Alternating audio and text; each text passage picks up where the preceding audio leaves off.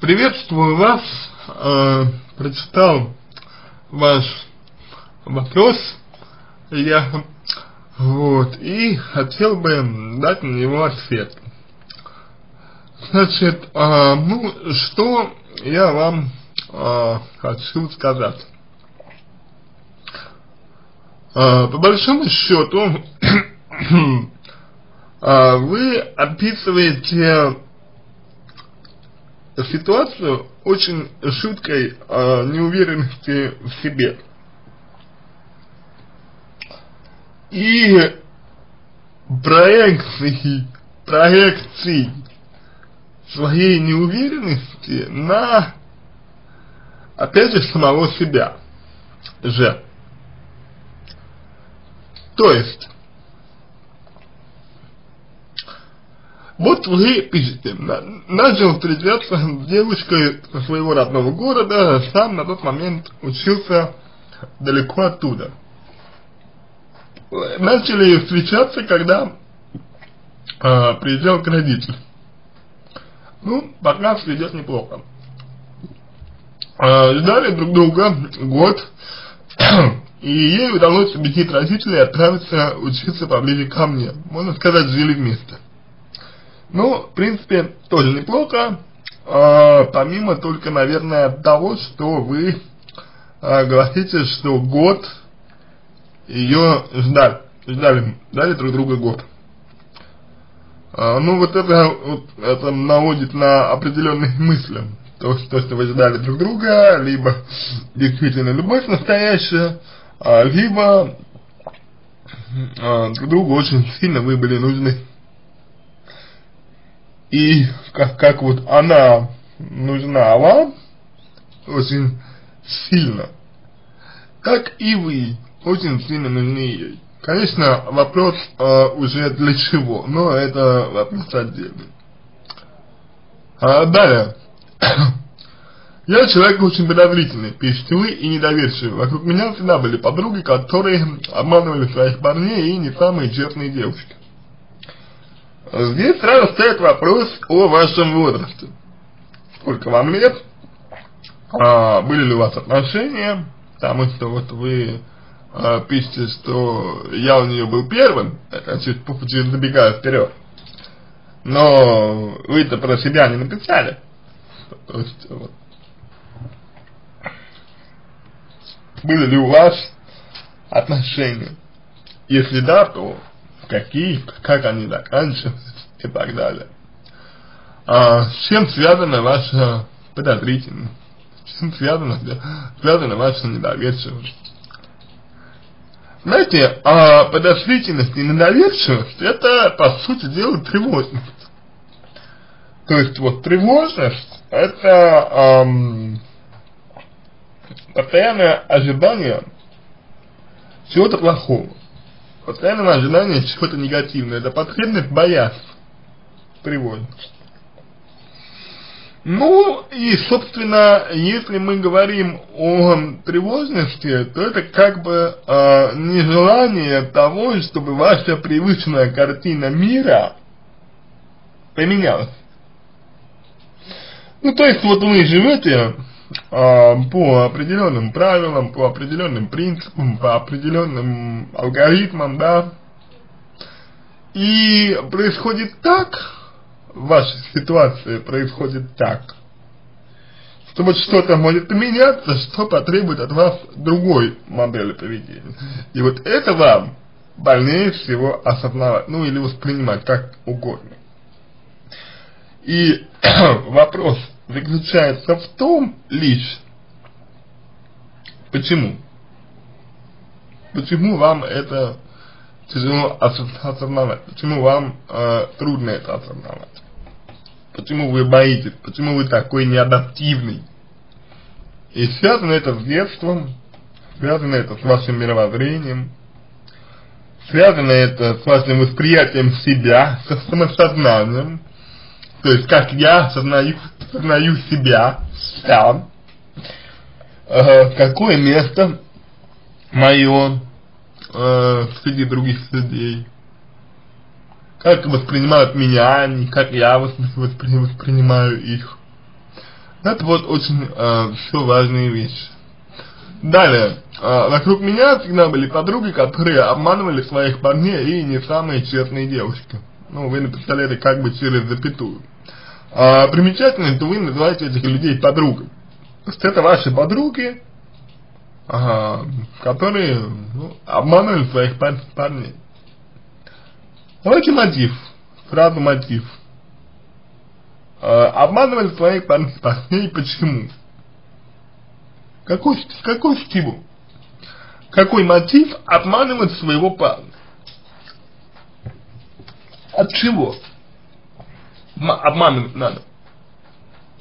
Ну, наверное, от неудовлетворен какой-то, да? Либо от непри... непринятия себя саму, э, самой дев... девушкой.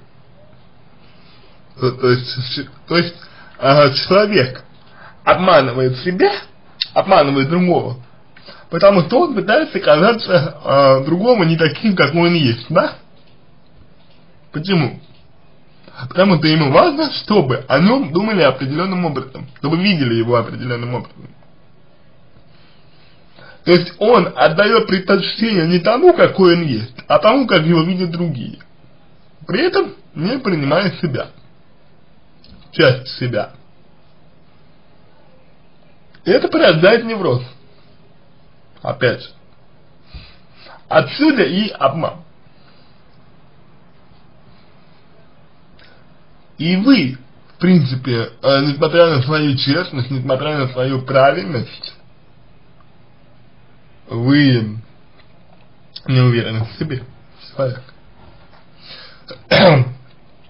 Подозрительность и недоверчивость – это потребность близости в другом человеке потребность максимальной близости в другом, в другом человеке. Вопрос. Зачем вам эта максимальная близость? Откуда такое желание быть максимально уверенным в своем партнере, требовать гар гарантий? Вы боитесь, что вам не изменят, и вы будете, наверное, думать хуже о себе. А почему? Почему вы боитесь того, что вы будете думать хуже о себе? Почему вы вообще должны хуже думать о себе? Тут она, чистая, наивная, добрая. Ну, знаете, вот, как, как вот, если вы склонны демонизировать людей, девушек, то, соответственно, э, если кого-то вы демонизируете, то кого-то вы идеализируете. И идеализируя, вы наполняете человек, э, человека ответственностью за себя, за вас. Я у него был первый мужчина, пишите вы. Ну, хорошо. А, но мои стереотипы о девочках не давали мне покоя. А откуда стереотипы сформировались, Алексей? Кем они были сформированы? Знаете ли вы вообще, что такое слово стереотип? Стереотип это такой вот собирательный образ, поверхностный, основанный на незначительном опыте на неглубоком опыте. Ну, то есть, грубо говоря, а, вот вы увидели, например, а, что какая-то девушка изменила своему парню, да? Вы увидели это, ай-яй-яй, какая девушка плохая, и так далее. Но вы не знаете, почему она это, это сделала. Вы не можете знать, что, что заставило ее это сделать. И я надеюсь, вы со мной с этим согласитесь, в этом согласитесь, что вы не знаете, что заставило ее это сделать. Но что-то заставило. И вот, не зная того, а, почему она это сделала, вы делаете вывод. Вы делаете выводы, как бы он не, а девушка, я имею в виду, что она такая плохая, что она вот такая, такая ужасная, негативная, противная и так далее. В действительности ваш, ваш опыт о ней довольно поверхности. Вот э, э, это как бы и называется, собственно, стереотипом, понимаете? Это как бы и э, называется предубеждением. Ваш опыт необходимо углубить. Лучше понимать причины, по которым девушки так себя ведут. Понять, что они просто так э, обманывать никого не будет. Ну, человек вообще просто так обманывать он не будет никого. Это довольно, знаете, сложно, тяжело и хлоп достаточно. То есть вот мы с вами уже приходим к выводу, что ваш опыт э, с девушками довольно поверхностный. Ну и понятно, что сами говорите, что случайного общения с девушками вы избегаете, откуда, соответственно, вам э, взять какую-то вот практику такую достаточно углубленную, да, вот. Далее, вы пишете следующее. А, я, я постоянно ее оскор, оскорблял, постоянно боялся, всегда ревновал и э, искал подвох, а искать было нечего. Ну, здесь вообще э, очень интересная ситуация, э, стереотипы вас о девушках, а, оскорбляли вы свою девушку, которая наивная, добрая и честная. Ну и вот, э, получается, по факту, такое довольно серьезное противоречие. Если девушка добрая, наивная и чистая, то она э, как-то недостойна оскорблений, как вы считаете. Вот считаете ли вы, что она достойна оскорбления ваша девушка, которая такая вот добрая, чистая или нет? А вы позволяли себе ее оскорблять. А что это значит, по сути? Что вот вы а, позволяли ей себя, а, позволяли себе ее оскорблять. Что это значит, по сути дела? А по сути дела, это означает, что вы позволяли, позволяли себе э, проецировать на нее свои переживания. Возможно, травмы, возможно, какие-то страхи и так далее.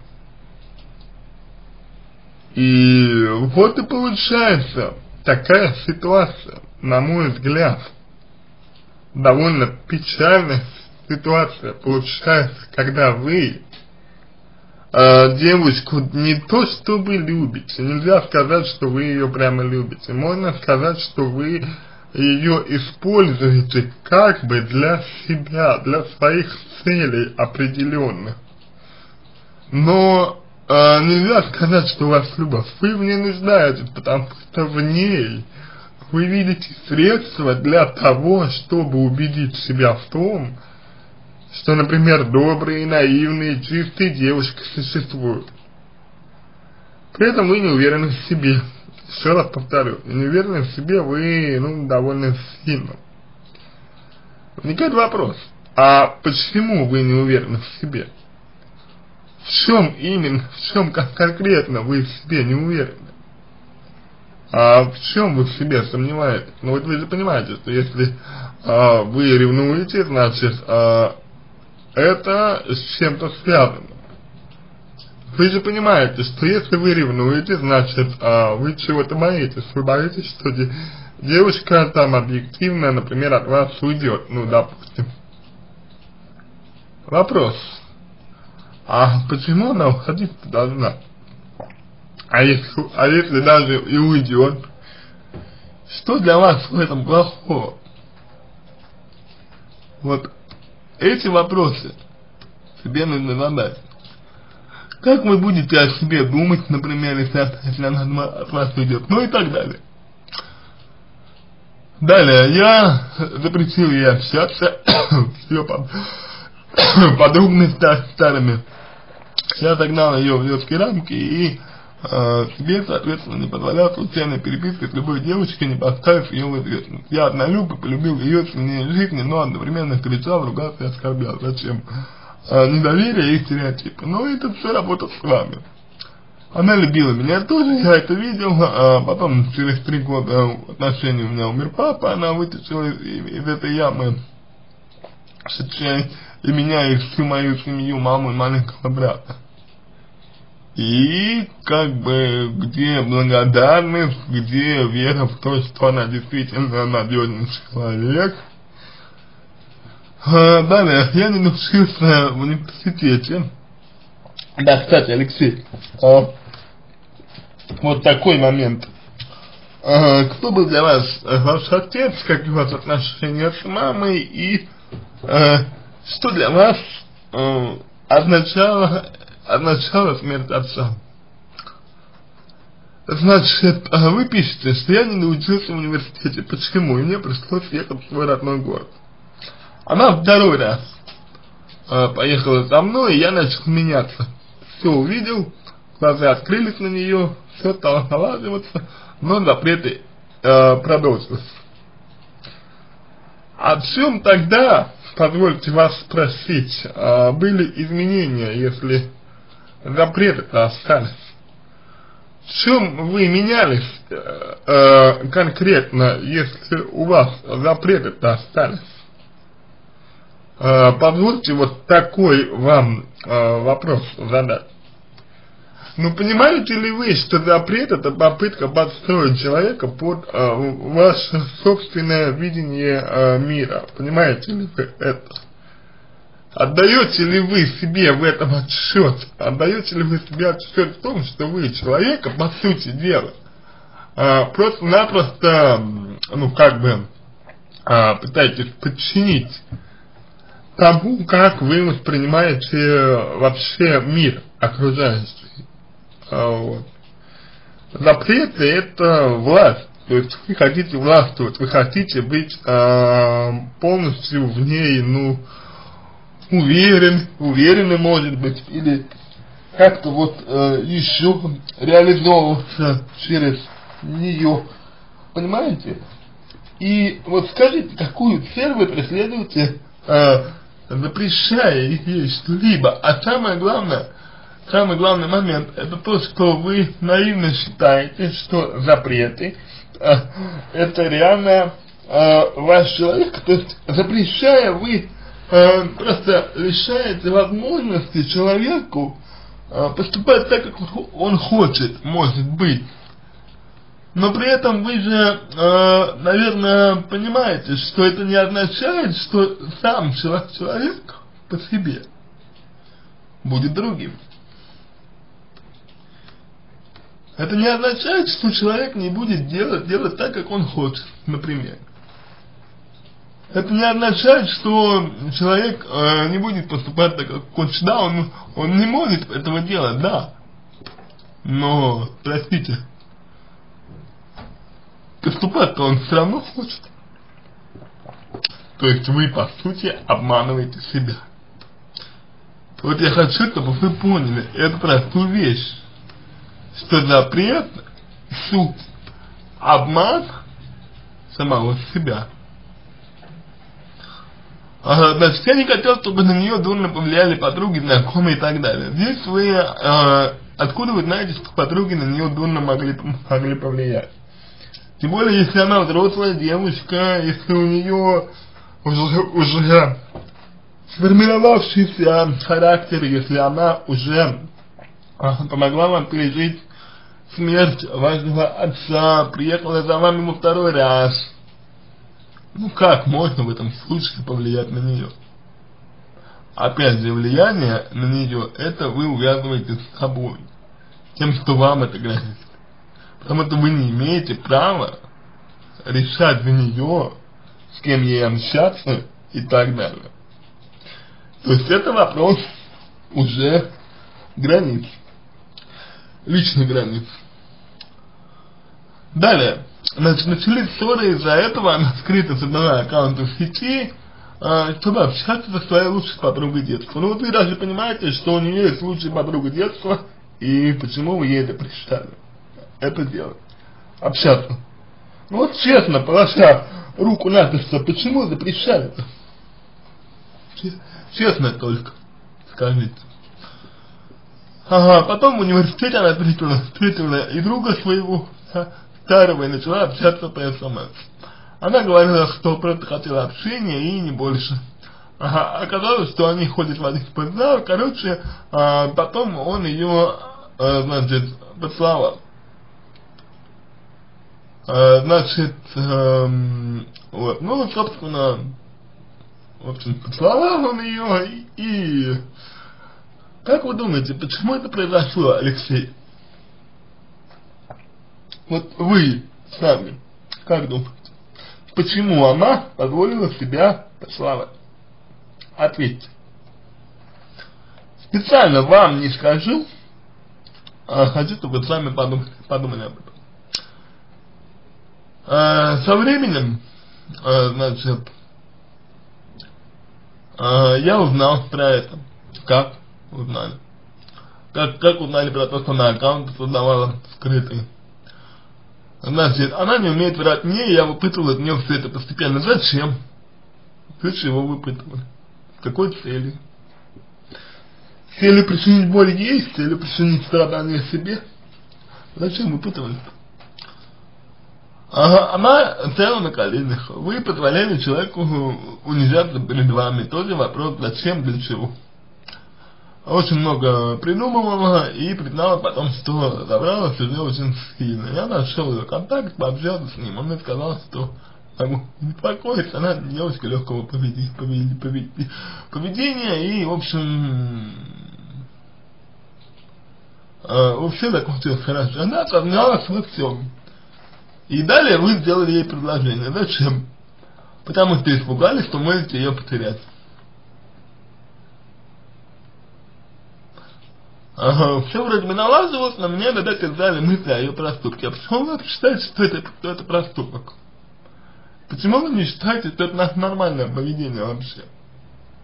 А вот дальше это просто-напросто неуверенность в себе. И то самое, о чем я говорил. Далее вы ее оскорбляете,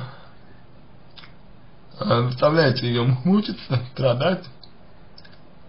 Вот вы говорите, есть мое кольцо, нам нужно расстаться, я больше не могу. Вот. Ну, понимаете ли вы, что вы в этот момент идете на поводу у себя, на поводу у своих страхов и так далее. Настроение меняется, как у девочки 14 лет, 14 лет. Это вы про себя говорите? Если так, то действительно рекомендую вам обратиться к врачу, э, как порекомендовал вам один коллега, вполне, вполне вероятно, что у вас может быть какие-то психические нарушения. У меня сердце разрывается, когда это плохо, пишете вы, да, но при этом это вам не мешает причинять ей боль. Вот. Как быть?